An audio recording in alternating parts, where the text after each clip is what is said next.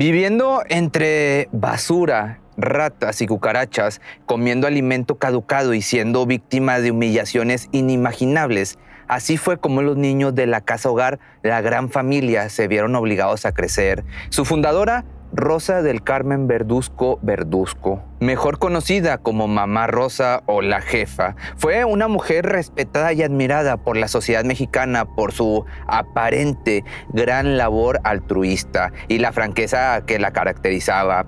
La fraudulenta mujer fue la directora del recinto poco más de 60 años, tiempo en el cual las apariencias eran muy distintas de la realidad que se vivía ahí adentro. Pero esto no sería para siempre, ya que en el 2014, después de recibir 50 denuncias de irregularidades, la policía descubrió de lo que se trataba y que este lugar sería el mismo infierno para los 500 niños que de ahí fueron sacados.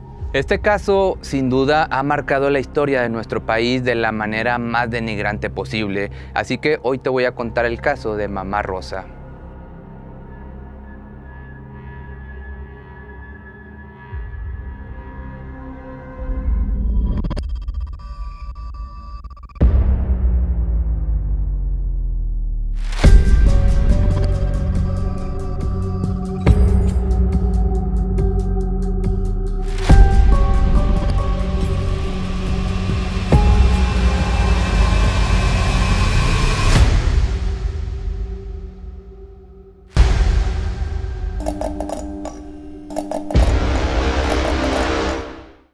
El inicio de esta historia yace con su fundadora Rosa del Carmen Verduzco, originaria de Zamora, Michoacán, quien creció en una familia unida y con una muy buena posición económica.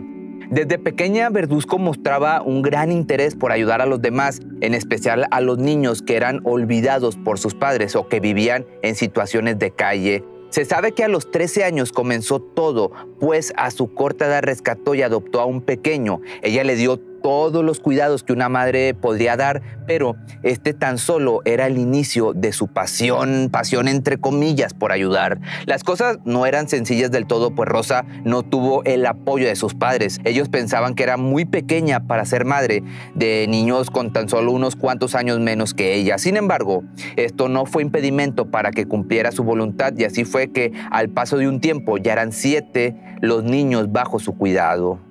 A finales de la década de los 50 cuentan que tras el fallecimiento de su padre, Rosa convenció a su mamá de que le regalara una casa donde se mudó junto con 40 niños que ya tenía bajo su cuidado.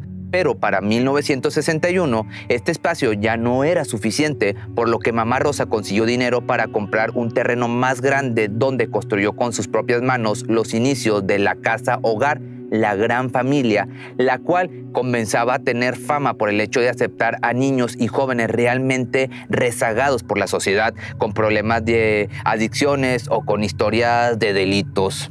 No se sabe el momento preciso en el que el esfuerzo y dedicación de esta mujer fue corrompido para tiempo después hacer de este lugar un infierno para los niños que alguna vez cuidó con tanto esmero.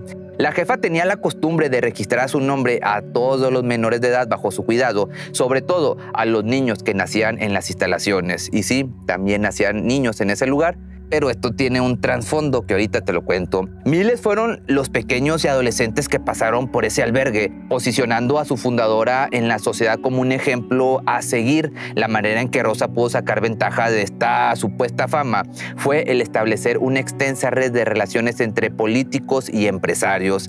La gran familia llegó a recibir grandes donativos de parte de políticos importantes, tales como Ernesto Cedillo, Vicente Fox, Felipe Calderón y algunos otros exgobernadores de Michoacán. Incluso la Secretaría de Educación Pública implementó un programa en cual dentro de las instalaciones se daba clases a los niños y adolescentes para educación básica, secundaria, bachillerato y hasta universidad, además de la enseñanza de oficios como costura, albañilería, artes, música y este tipo de actividades.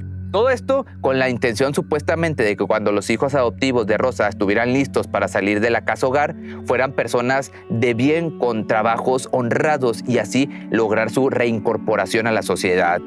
Con gran tranquilidad del apoyo económico y social que aquí se recibía, se esperase que estuvieran en óptimas condiciones, pero Más tarde se descubría que las cosas no eran así. La gran familia cultivó la imagen de que cumplía la labor que las autoridades no realizaban, atender a niños huérfanos y abandonados para darles una reinserción a la sociedad. Pero el 15 de julio del año 2014, tras recibir más de 50 denuncias en contra de Mamá Rosa y su albergue por privación ilegal de la libertad, entre otras muchas irregularidades, se llevó a cabo un operativo para rescatar a los presentes en el recinto, ya sea que estuvieran por voluntad propia o por obligación.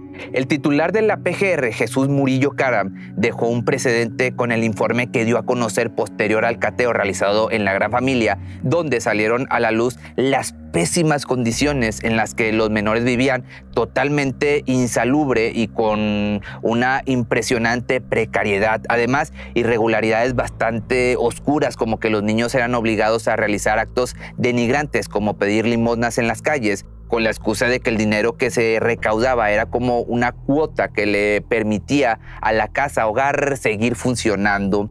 Por otra parte, al hacerse público el caso, la verdad sobre lo que ocurría dentro de sus puertas consternó a más de uno, pues se dio a conocer que los niños vivían, aparte de todo esto que te digo, entre ratas, cucarachas, chinches y pulgas, además de obligarlos a realizar, aparte de pedir limonas, actos sexuales contra su voluntad o ser explotados laboralmente. Definitivamente este era el peor trato que se le puede dar a un ser humano y en especial a un menor de edad.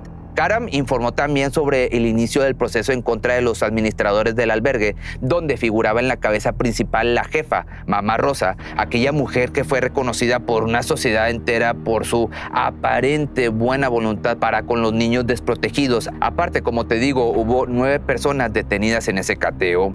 El famoso lugar pues era muy conocido no solo por ser vecino de antaño de la comunidad de Zamora, Michoacán, sino también por su existencia para la ayuda de los más necesitados, en especial de niños, el futuro pues de nuestro legado como sociedad, pero ¿cómo es posible que ninguna autoridad se preocupara por corroborar que se cumpliera con los lineamientos para su funcionamiento y operación? La PGR demostró gran asombro por este caso, pues nunca imaginaron el tamaño del problema y encima que todo se había ocultado por tanto tiempo, aun y cuando se recibía tanta ayuda nacional como internacional.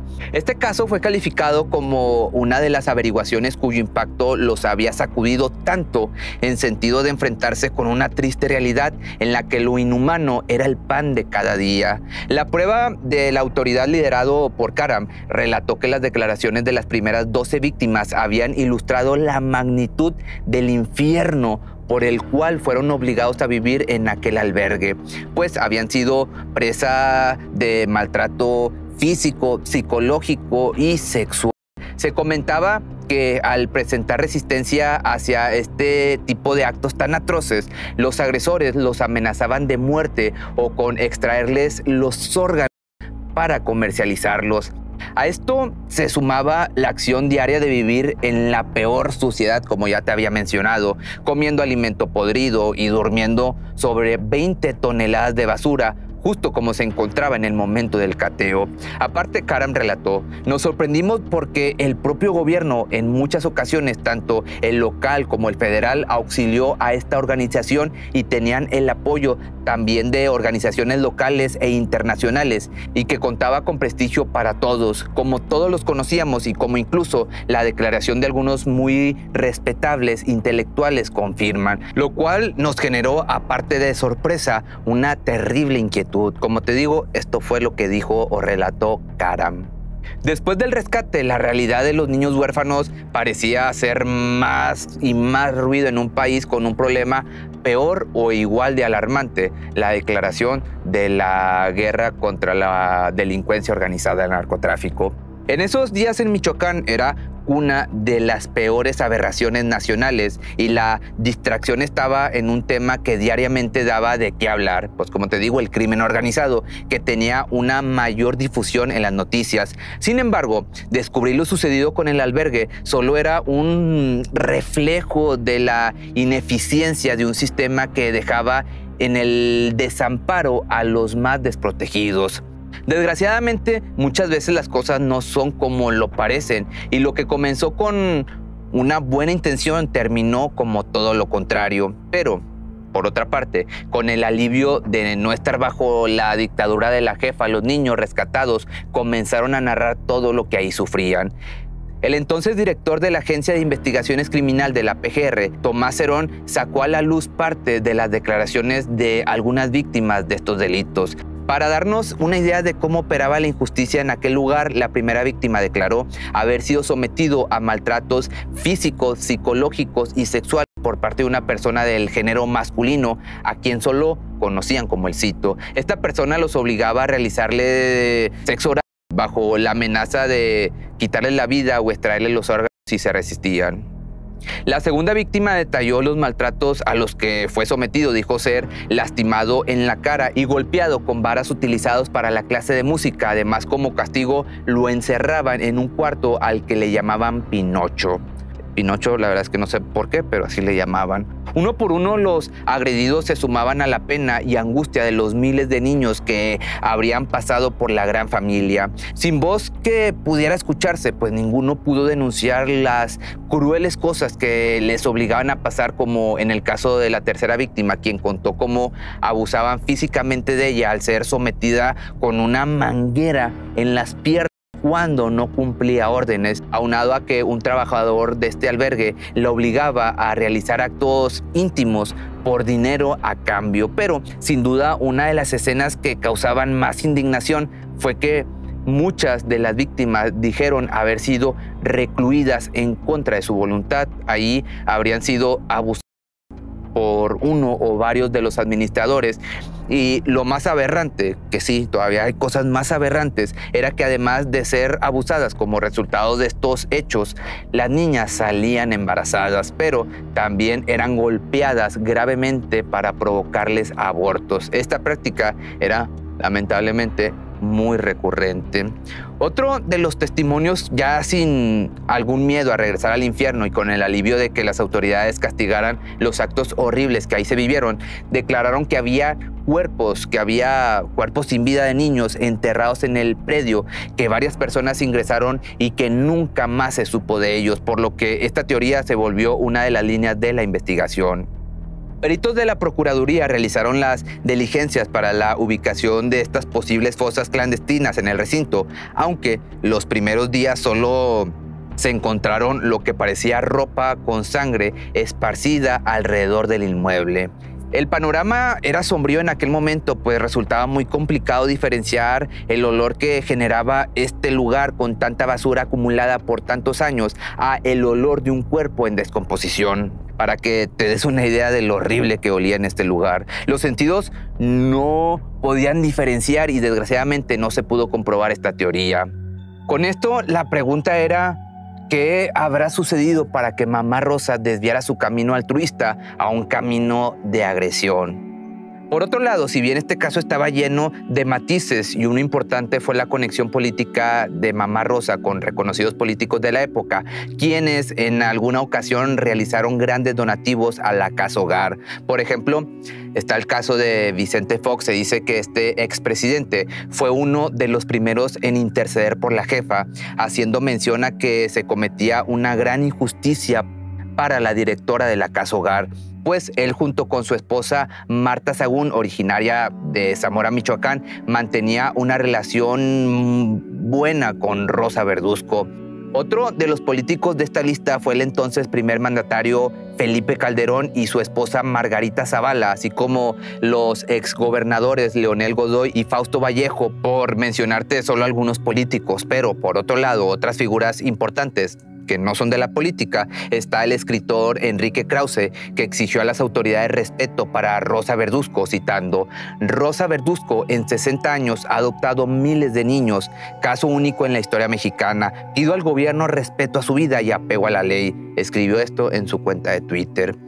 En base a esta información, la teoría seguía solo en la mente de los investigadores, pues nada se pudo comprobar. Si bien es cierto que la gran familia obtuvo montos millonarios en donaciones supuestamente para los niños, la realidad era muy distinta. Esto dio paso a conjeturas de la posibilidad de que ese dinero era lavado para otras causas muy probablemente políticas, pero esta era una de las teorías que jamás se pudo confirmar. Finalmente se detuvo a nueve presuntos responsables, entre ellos la jefa Rosa Verduzco, que a sus 81 años terminó en el hospital, además de quedar libre al no haber cargos en su contra.